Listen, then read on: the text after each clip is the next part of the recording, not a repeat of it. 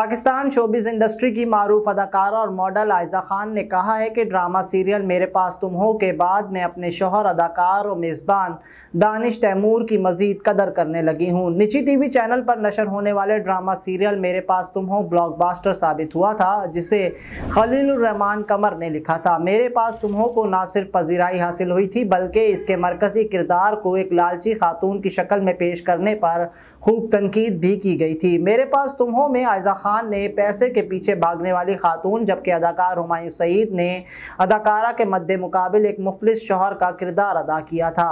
हाल ही में अदाकारा आयजा खान ने बरतानिया में फ़लस्तीन के लिए फ़ंड रेजिंग तकरीब के दौरान अपने जज्बात का इजहार करते हुए बताया कि मुझे ड्रामा, सीरियल, मेरे पास तुम हो, में महविश के किरदार ने अपने शोहर दानिश तैमूर की पहले से ज़्यादा इज़्ज़त और मज़ीद कदर करना सिखाया है।